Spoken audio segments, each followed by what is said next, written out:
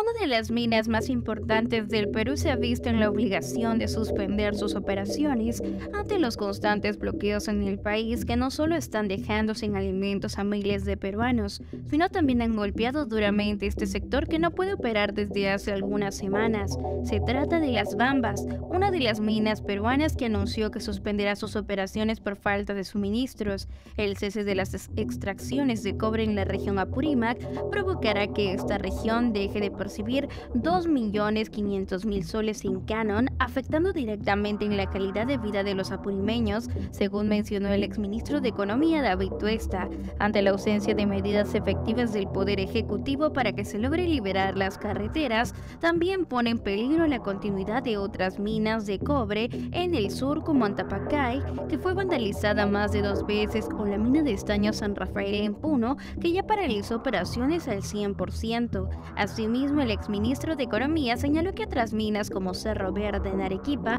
se ha visto obligada a tener que racionar sus insumos para no tener que paralizar, pasando a reducir su producción en un 15% de 400.000 toneladas a solo 350.000. Ante la caótica situación que se vive en el país, Rómulo Mucho, ex viceministro de Minas, advirtió que esta falta de garantías para la actividad minera formal solo espanta la inversión privada en el país y pone en el ojo de los inversionistas a los países de la región como Ecuador, Chile, Argentina o incluso hasta países africanos. Un duro golpe para el país que habría sido financiado por mineros ilegales que según la presidenta Dina Boluarte estarían financiando las movilizaciones. Un nefasto panorama para el país que de no ser resuelto cuando antes seguirá hundiendo aún más las regiones del sur y golpeando el crecimiento económico del país. ¿Y tú qué opinas sobre la minera Las